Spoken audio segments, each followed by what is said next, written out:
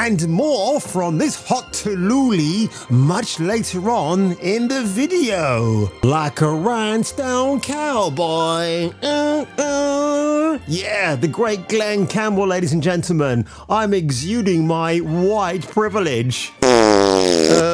Okay, but you know who else is exuding and gratifying their white privilege? Shauna Jones. Who? Well, I'm about to tell you after this incredulous email I received in my Yahoo account for Star Wars Outlaws. Probably the worst title I've ever seen for a video game. Ubisoft contacted me and said, coming in August the 30th. Wow, I could be coming somewhere else, Miss Eve Guillemot, chairwoman of Ubisoft itself. But the story trailer is there. Play up to three days early with Ultimate All Gold Editions. In other words, let's get more money off you now, and then we will release a grade B, maybe slash C video game in August because I'm not excited for this game. In fact, the lead protagonist who the lead actress, they changed her dramatically from this to this. That's true. Absolutely ridiculous.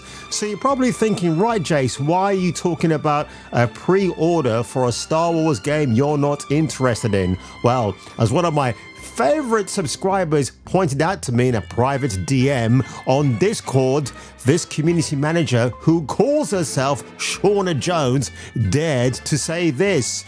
Star Wars Outlaws com manager Jones appears to have animus against white men in numerous social media posts. Because remember, folks, if you're a white person, you can't be racist against another white person. You have to be someone like me to be racist against white people. That's the that's the moral story, folks. That is the moral compass we all have to stand on. Don't move! Uh, sir, maybe you didn't know, but we have white privilege. Get your hands where I can see them! I think the problem is you're just uneducated. I wear sunglasses at night so I can, so I can track the visions in my mind. There's someone behind me, At isn't the there? end of the day, oh, I'm fuck. still hot though. Her voice may be almost as important to gamers as Lara's double pistols, curves, and skimpy shorts. Kung Fu Hot Dog. is a Kung Fu renegade cop. Now he must defeat the most evil Kung Fu master in the world. For modern gaming audience. Get ready for a new world of unspeakable adventures. said, Mummy, I like the way the lady runs. Get ready for a new world of unspeakable adventures never before shown in a motion picture. Get ready for Kung Fu Hot Dog. No retreat, no surrender.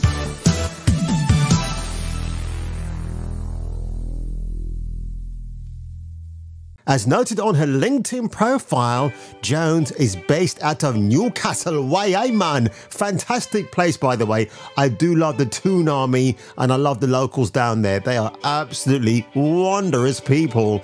And has worked at Ubisoft as a comms representative and manager for four years.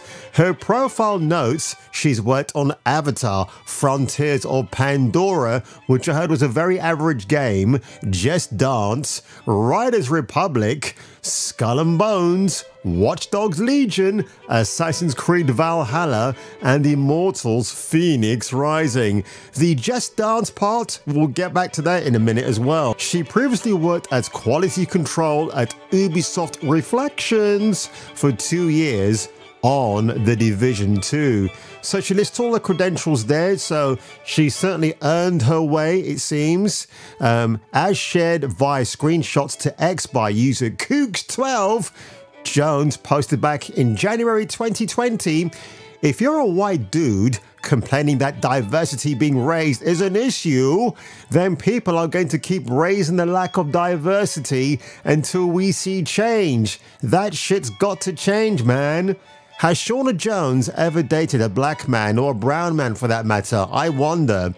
In another post in September 2020, so moving on nine months, she wrote, Love that if you say you're trying to be more body positive, white men assume that you're fat and tell you to go to the gym. Bollocks. I'm a size 12. Being body positive has nothing to do with weight.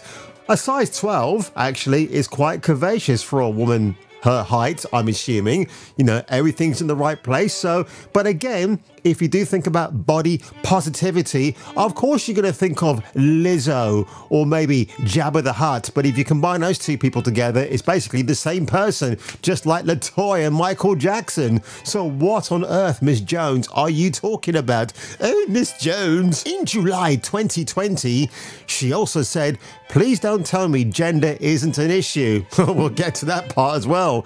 In the games industry, when you are a white male, Wowsy, wowsy. Diversity in general is an issue in the industry, is it really? I guess as a white male who's not always represented, it's easier to not know or see the misrepresentation in studios. So, in other words, if you've got a group of white men who are designing a video game and it happens to be very sexy female characters, they're going to have a great time doing what they want to. But oh my god, bring some diverse women in, or maybe women who are also white you know, the whole landscape changes. And again, what is Shauna Jones? Is she off her rocker? The answer is yes, she is, boys and girls, because maybe she hasn't been allowed to be that creative or have that influence. Again, you know, it's problematic to have a sexy female design these days in a video game because it's 2024. But uh, yeah, she is absolutely crazy, this woman. And in fact, good for Kooks12 for capturing these screenshots back in the day. And you can see what an absolute buffoon Miss Jones actually is. And in the wise words of the great man himself, Jimmy Nail of Our Pet. Spender and crocodile shoes fame. But even more strange was this everyone can, changing lives through the power of gaming. Now, it's a worthwhile charity. I've seen the screenshots below, which you'll see in a moment too. 0808 800 0009. Well, that's easy to remember. 0118 999 88199 9119 725 three. But Shauna Jones, the ambassador for Everyone Can. What's weird about this? There's no date to say when this was actually created. I can't find a date. Maybe I'm just dumb and I don't see anything. But uh, Sean Jones inquired about becoming an ambassador after seeing footage of our adult gamers enjoying a boogie on Just Dance on Twitter. So obviously, she wants to get that slice of dancing pie heaven to go in there and do her thing. As the then community manager for Just Dance, she was enthused to see disabled gamers getting involved and quickly got in touch with us to show some love. When you say show some love, do you mean this kind of love right here, where the uh, gif of the guy massaging his stomach over Sean is now protected tweets? Because yes, she, her, INFJ, I have no idea what that stands for, her posts are now protected. What a shocker. But an interesting Google search for Miss Jones shows some rather interesting cleavage shots. So no wonder people were simping for her on her Twitter posts back then. I mean, that's her with glasses, but yeah, she's got that kind of strange Reese Witherspoon pointy chin at the bottom, but it's very identical to this one right here. The eyes match, the same mascara kind of goes in the same direction. Uh, the same type of hairstyle with a prominent forehead.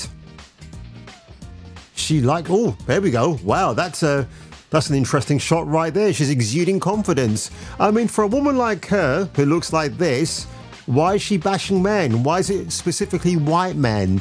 Has she had bad experiences with them? Who knows? Shauna, if you see this video, reach out to me. As a brown man, maybe you might converse. Who knows again?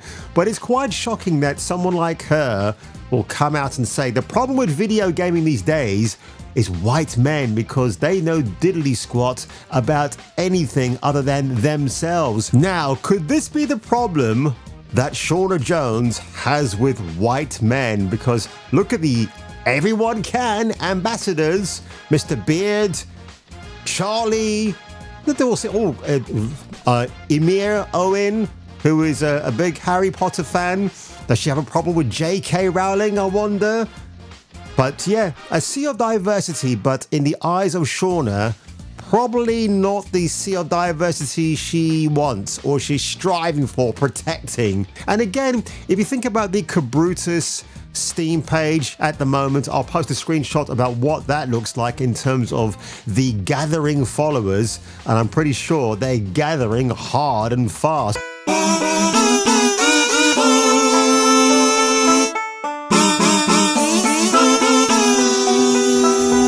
Reason why people like Chris Kindred, the she, he, it, them blimp of humanity wanted to get Kabrutus Rambo cancelled because they know the more people that follow, the more that Sweet Baby Stink will be losing money and will probably become non existent by the end of 2024. That's what they're afraid of. They don't actually care about the art of video gaming, what goes into it. All they care about is injecting their sick, diseased narrative into future video gaming so you can't enjoy it. As somebody pointed out to me, and I need to look into this a bit more, uh, the word bridge is now a term that I think is being pushed out by video game companies like PlayStation for future titles. It sounds really ominous. That's all I've got to say. It sounds like it's got the backing of certain governments. I can't say the British government has yet got involved. I mean, if that is the case, it's sorely disappointing. In fact, what I found very funny as well, Shauna Jones also called out Ninja of all people because it's all about his white privilege. It's not about the fact he should have sat there on his platform and tell people what it is to be in his position, how you can be a better boy or a girl, and bring diversity into the conversation. Ninja earned his place to be the top kick streamer back then. And you know, he's the very cool white guy with a crazy anime colored hairstyles. He's married to a very, I suppose, beautiful woman. And he's got it all. No kids, just lots lots of money that he swims in day in, day out. But it seems that Shauna Jones has a problem with Ninja, and no problem with gaslighting straight white men. What about the gay white men? Are they better? I mean, you can you can't stop them from becoming a bit toxic, can you, Shauna Jones? But I'll guess we'll never know the absolute truth. And you know, listening to female community managers rabbiting on about their privilege reminded me of this Inside Edition story from a few years ago, seven years ago actually. Um, you might have forgotten about it, but I thought I should bring it back up again because it's quite relevant. Okay, if you don't feel safe, get off the airplane. This is your captain speaking, but never like this. I'll stop and we'll fly the airplane. Don't worry, I'm going to let my co-pilot fly it. He's a man. Okay? It's a total meltdown. The pilot boarded in her street clothes and addressed the passengers over the intercom.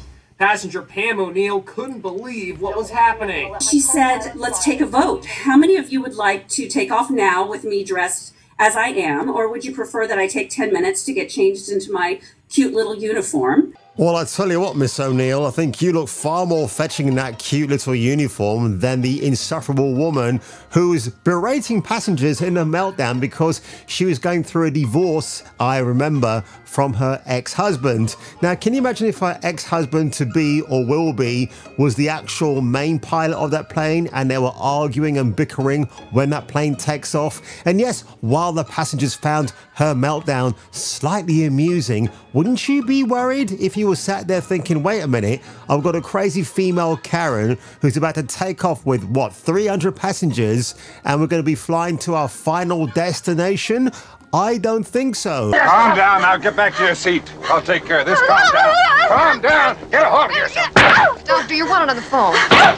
Which is why, ladies and gentlemen, you don't hear about females flying high in the sky because maybe they're more prone to breakdowns than men are. And again, would you want some crazy Karen at the steering wheel of a massive 747 Airbus? I wouldn't. Would you?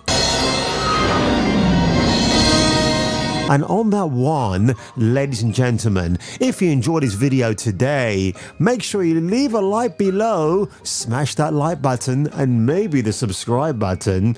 And by the way, folks, I do have an Amazon wish list linked to my channel, and if you are inclined to maybe buy me something that I've wish listed for, do get in touch. And if you only if you feel like you want to, because right now I just have to live very thriftfully and very carefully because of the sudden change of circumstances in my life, and also what do you think about me starting a Patreon? I thought about it, but I don't really know what kind of tiers to introduce. When I say tears, I don't mean tears of joy, because yes, it's not all about that. I actually do care about what you think, and uh, if you have any ideas, DM me or post comments below in block letters so I can be drawn to them like flies to a monkey or a monkey doing a shit. And then I'll decide what to do. But I've often said that if, when I hit the 5,000 plus mark, I would consider starting a Patreon. I know other YouTubers out there who are bigger than me don't need to do that because, like me, they too won't have a clue what to do when it starts Patreoning. So, on that one, folks, if you were me and if I were you for the second time, you can catch me on the next video, why I man. Then watch Jason Dumbass King on Kung Fu Hot Dog. Rolling down to Dallas, my blues provide my palace. Off to New Orleans or who knows where. Places new and ladies too. I'm BJ McKay and this is my best friend